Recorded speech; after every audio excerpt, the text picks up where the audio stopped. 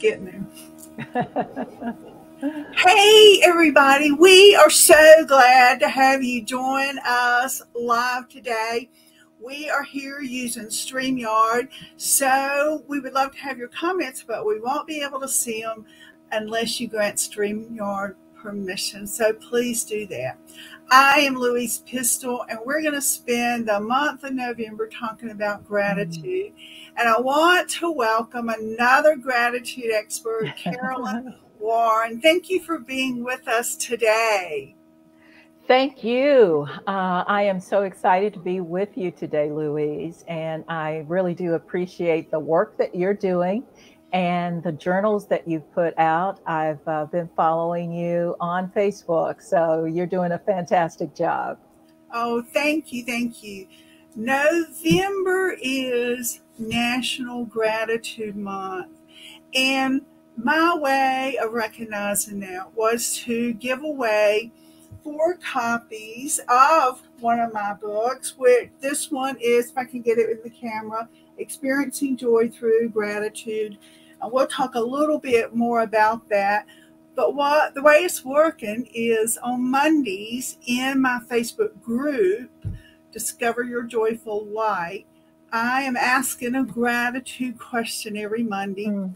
And then of everybody that answers the question, we're going to draw a name. Actually, my granddaughter is choosing a name to win a copy of the book. So we'll get back to that, but let's talk about gratitude just a little bit. First, Carolyn, just tell us a little bit about who you are and what you do.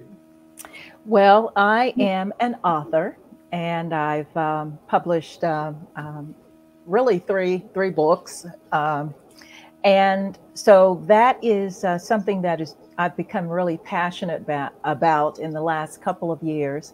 I am also an empowerment and leadership coach, and I'm passionate about helping women to um, live extraordinary lives, to address those internal and external uh, barriers that may come up, and uh, really finding the harmony in life where they are able to be successful in their spirit, soul, and body. And many times we are focused on our careers or we're focused on families or our spiritual lives, but I believe it's available for us to live a whole life. And that means uh, yeah, I don't really like to call it balance. I like to call it harmony because on any given day, you may need to just spend a little bit more time in one area of your life than the other. And then that brings that uh, a, a, synergy that, so that uh, you're able to be successful and be extraordinary, which I think is available to all of us. Absolutely. Now, I did hear you mention earlier, not today, mm-hmm. that you have a self care journal and that gratitude is one of your tips in there. Yes. yes. this is my self care journal.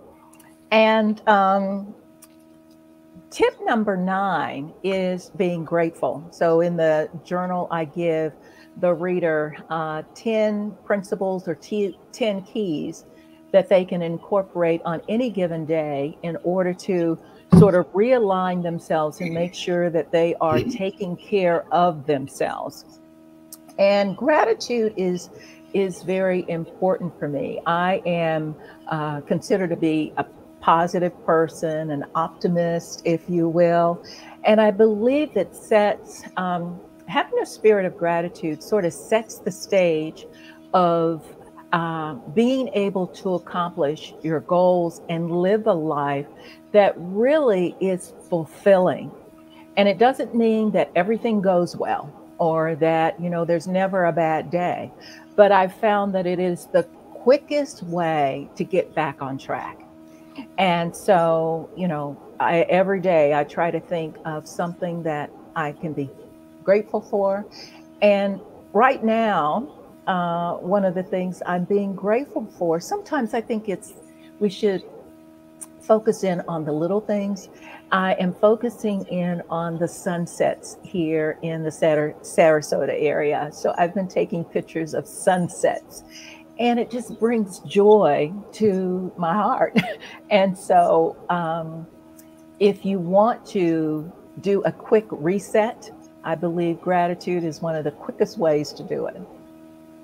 I think you're right, Carolyn. And, and in my books, I have said that gratitude is your pathway to joy. Yes. And and that is in essence the same thing that you're mm-hmm. saying is that you're resetting. And when we reset, I do believe that brings us back to our inner joy. Yes, yes. And I think, you know, one thing that I've seen also is that uh, I often say that it's really hard to be depressed or down and be grateful at the same time. And so when we are grateful, all of a sudden, we've repositioned our thought process, our mindset, and now we see possibilities that we couldn't see previously um, you know, all of a sudden there is a smile on your face uh, because you saw a sunset or because you saw, you know, uh, a cute dog video on, on social media. Uh, and so everything now takes on a new level of excitement for the life that we are living. Um, if I could just sort of uh, interject for a moment, you know, I am really grateful. One of the things that I'm really grateful for is my family. And of course, you know, we all have family and, you know, we love our grandkids and great grandkids. But this uh, period of time in my life is really so important because uh, my mother recently turned uh, 102. And one of the things that she prayed for as a little girl, and, you know, as we were growing up, we heard this story of her praying for four children she wanted a family. She wanted two boys and two girls. And that's what she got. And she just thinks that God is so good because he gave her two boys and two girls. But the thing now is that my family is a part of her legacy. And so in July, we got together for the 4th of July, and there were five generations, five generations represented just because this one person prayed as a little child for a family. So I feel a responsibility to continue the legacy. So every day I remember, I try to remember, God, I'm thankful that I am part of this legacy. And then also, what is it that I need to do? What actions now do I need to take in order to continue this legacy. And so now I'm even praying for my great grandchildren that they will continue this family legacy that started, you know, 90 years ago. So, so yeah, all because of someone was grateful and, and you know, to God and felt that he was going to answer her prayer. That is beautiful. But now let me ask you now, you recently relocated. Mm-hmm. So now are you closer to family? I mean, physically closer to family now? No, actually, we are further away. oh. uh, but um, thank God for uh, social media, for Zoom, and and you know all these other things where we can can uh, stay in in touch with one another. So you know, I'm always um, you know calling my mom and checking on her, and uh, she is just has always been a pivotal person in my life. And in my book the uh, the women at the table she's one of the women that i i um, share the impact of her life on my life and uh, she has been really a model of gratitude. You know, she is 102. Uh, she's got bad knees, so she, you know, uses a wheelchair. But any day that I talk to her, she is giving God thanks. She's so excited about living. And in fact, um, recently she went to the midnight movie with some of her grandkids. oh my God. and um, my, you know, I am from uh, uh, Columbus, Ohio, and I had a brother that was there. So I moved to Sarasota, and my brother retired. So he's moving back to our home uh, in uh, Charleston, West Virginia. And so he bought this house next to him. And so my mom is moving into a new house oh my next month. At 102 so, years old? At 102.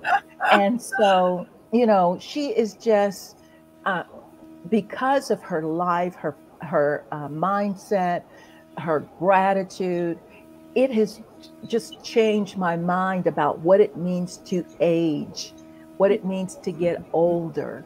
And so now 102, I mean, you can go to the movies at night, you can, you know, go in a new home or whatever. And she's just been such a, um, a testimony of trusting God, pray, believing in prayer, and doing your very best to live a life that would represent Jesus Christ. That is beautiful, Carolyn. That is beautiful. And you are certainly following in her footsteps. I'm trying. Sometimes when my energy level's a little low, low, I'm thinking, okay, if she can go to the midnight movie, I need to be able to get through this. There you go. Well, you know what? We've got a book to give away. But okay. before we do that, I do want to ask you one more question do you have a favorite quote or Bible verse around gratitude that you would like to share with us today?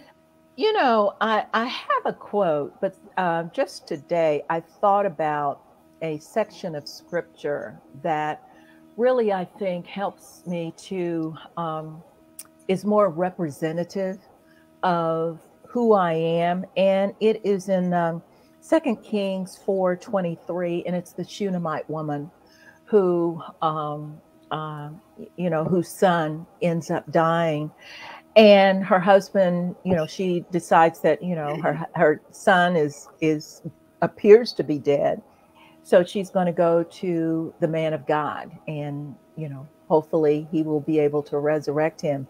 So her husband says, "Okay, where are you going? Why are you going?" And she, her response is, it is well. I believe that that is what gratitude is all about. Taking the position that no matter what I see, no matter what is going on in my life, no matter how chaotic and inadequate I feel, it is well.